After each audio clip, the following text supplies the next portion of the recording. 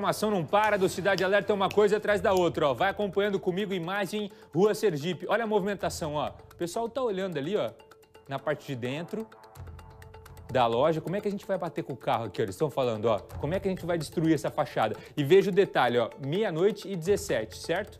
Meia-noite e 31, vem o carro.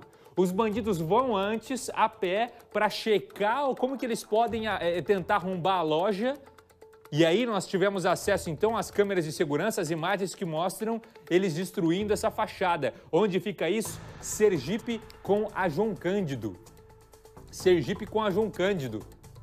Eles conseguem bater na parte da frente ali, ó, destruir é, essa fachada dessa loja, mas a informação que a gente tem é que, apesar disso, eles é, causam um estrago enorme, destroem a, a, fachada, eles destroem também é, é, ali a porta, não é? tem uma viga ali, uma, uma espécie de uma viga de gesso ali é, que eles acabam destruindo.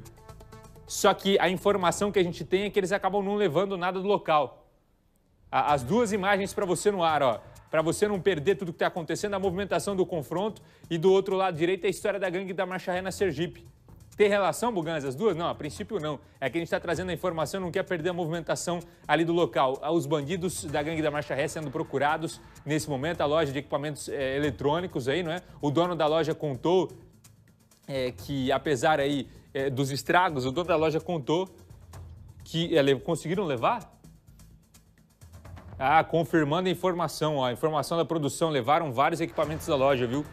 Levaram vários equipamentos da loja é, é, conseguiram aí levar é, vários produtos, vários eletrônicos que estavam na parte de dentro é, dessa loja da Sergipe. Daqui a pouco a gente pode voltar com mais informações sobre esse assunto. Vamos seguir?